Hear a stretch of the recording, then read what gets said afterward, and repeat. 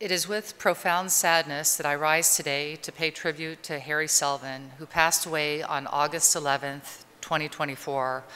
A wonderful father, husband, grandfather, great grandfather, friend, and community member, Harry lives behind a legacy of accomplishment in the city of Thousand Oaks and beyond.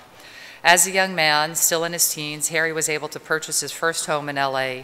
He continued his journey in life and became involved in the printing business in 1955 and later the import and distribution business in 1971.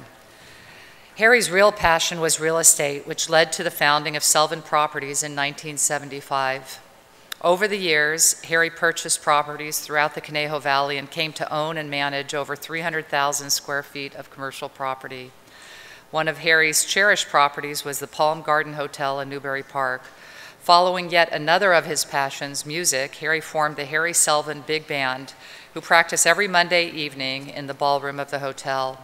The Harry Selvin Band was a regular at many community events over the years, with Harry standing tall as the band leader and sometime drummer. Harry's contributions outside his business ventures were many.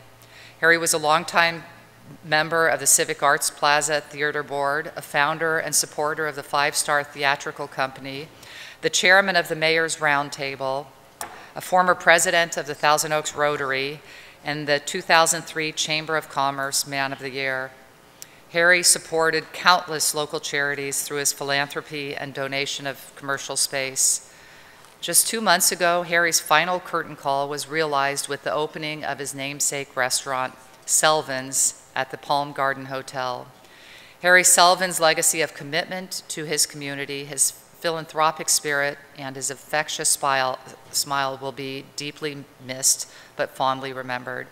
Harry leaves behind his adoring wife, Maureen, two children, four grandchildren, and six great grandchildren. I ask that we adjourn today in the memory of Harry Selvin.